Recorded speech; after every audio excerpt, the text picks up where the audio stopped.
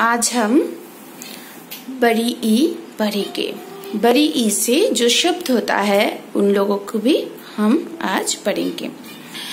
ये है छोटी और छोटी यू के ऊपर ये रेप जो है, इसको हम लगाते, ये हो जाएगा बड़ी ई। ये क्या है? बड़ी ई। बड़ी ई से इक्ष। बड़ी ई से इक्ष। ई ख। इक्ष। बड़ी ई से ईद। ईद ई द ईद ना ई नई हम लोग जब ई को बोलेंगे, तब हम लोगों को ज़ोर देकर बोलना है। धीरे बोलेंगे तो छोटी ई होगा, बड़ी ई के समय हम लोग ज़ोर दे के बोलना है। जैसे कि न ई नई ई श आ की मात्रा न, ईशान।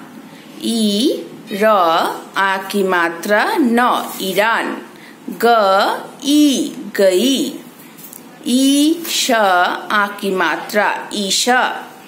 ब न आ की मात्रा ई, बनाई। न आ की मात्रा ई, नई। ई श ईशा ग आ की मात्रा, ई गई। ई ख, इक्ष। ई ख, इक्ष। आ, ई, आई। ई श आ की मात्रा, ईशा। द, ब आ की मात्रा, ई, दबाई। भ आ की मात्रा, ई, भाई। आप लोगों को ये लिखना है।